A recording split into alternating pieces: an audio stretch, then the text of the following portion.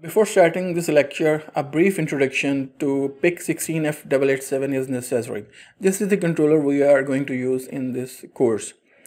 This is its diagram. PIC16F884 and 887 both are the same. That's why the diagram is the same. Only difference is in their memory. Now notice uh, this pin 1. It is a multi-purpose pin. It is RE3 it is uh, master clear and it is VPP2 similarly pin 2 has many functions pin 3 has many functions and so on. So the microcontroller have almost all the pins which are multi-purpose. Now notice uh, this one pin 11 12 and uh, 31 32 these are supply pins. VSS is connected to ground and VDD is connected to 5 volt supply. Now note this uh, port B. This is port B. RB0, RB1, RB2, 3, 4 and, and so on. This is the 8-bit port. At this point, only notice that this is port B and forget all the other functions. We don't need them. Similarly now it is uh, port D, 4 pins are here, 2 pins are below here and the other two are on the left. So it is not necessary that a pin is organized like B. They are generally scattered. Now as you can see this is port E, three pins are here and fourth one is here. At this point only notice that there are five ports A, B, C, D and E. All pins are 8 bits, all the ports are 8 bit ports but uh, port E is a 4 bit port. That's it we don't have to go to the other functions. Now, before starting the lecture, let's uh, create a folder and all our course will be organized here.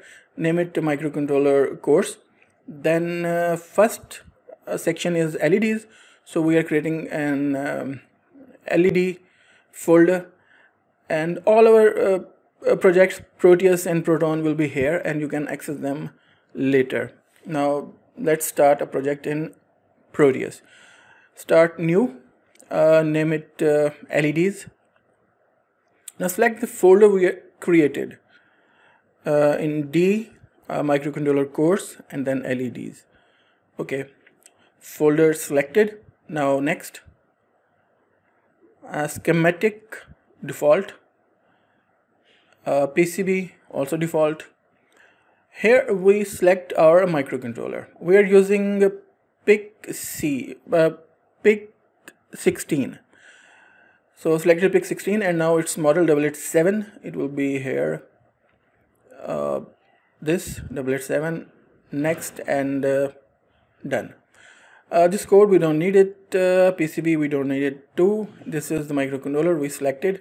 You can uh, uh, zoom in and zoom out it as you want okay now we need to select an LED for LED click here at P. Here you can select any component. Now search LED go to optoelectronics. That means electronic uh, light related electronics. And here you can see different LEDs we select. Yellow. It is a bit prominent. Double click it. It will be in the workplace here.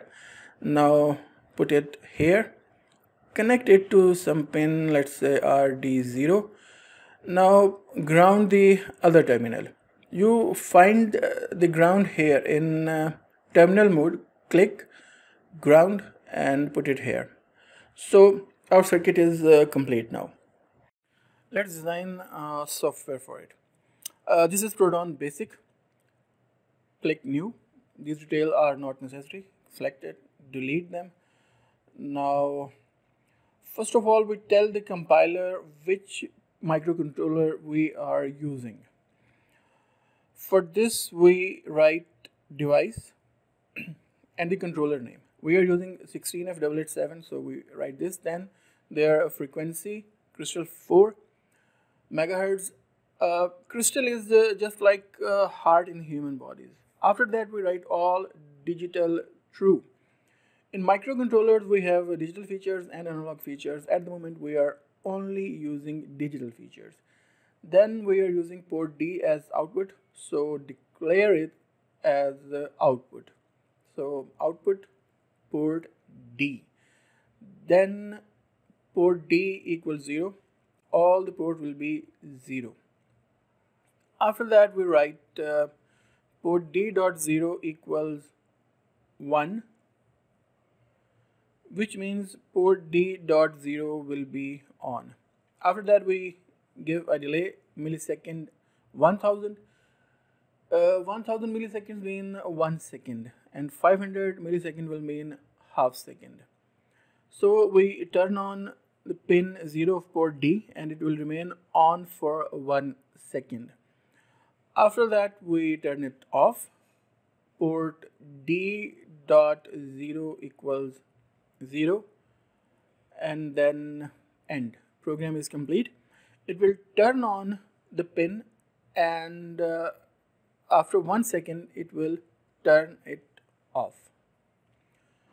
Now let's uh, save it. Name it uh, single LED and notice that this is the same folder we created. Now its name single LED save. This is the name name appears here too. Now notice that this is the file we saved just now single led.base it is uh, now if we compile it there are several files are created here below this space. And uh, one of them will be hex file. Now let's compile and see which files are created. Compile compilation successful now let's see it now Notice that there are many new files created. In these files, hex is the most important file. This is the file which is copied to microcontroller. Now let's copy it here, double click, select the folder and select a single led.hex. This is the file cre uh, created after uh, compilation. Now set the frequency. We write 4 megahertz in program so set it at 4 megahertz here too now let's run it. It will turn on for one second and then off. Yes it is working fine. Now let's uh, uh, blink the LED to blink LED we use uh, loop. We write loop here and then go to loop here at the end okay now all the instruction between loop and go to loop uh, will always be repeated. They will repeat themselves forever. Now we write delay ms 1000 here. It means that it will turn on for one second and it will turn off for one second. Now these lines will be repeated. Now let's check. Oh it's not blinking reason is that we didn't compile the program. So first we must compile it. Let's compile so that a new hex file will be created. Now play. And yes it is blinking. Now let's uh, reduce the delay. It will blink a bit faster let make it triple two compile and uh,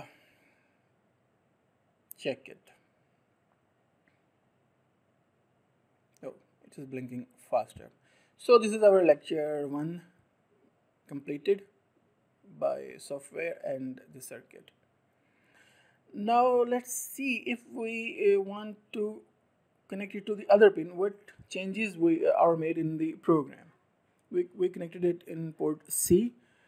So port C output port C port C is 0 port C dot 0 and then port C dot 0 on and off.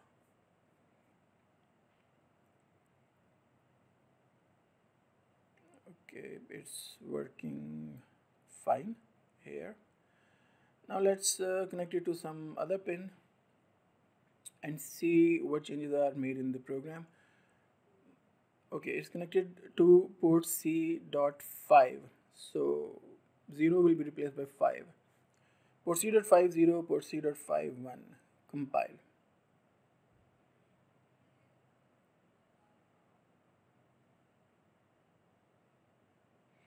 It is working fine. Now you can check on all the other pins as you want.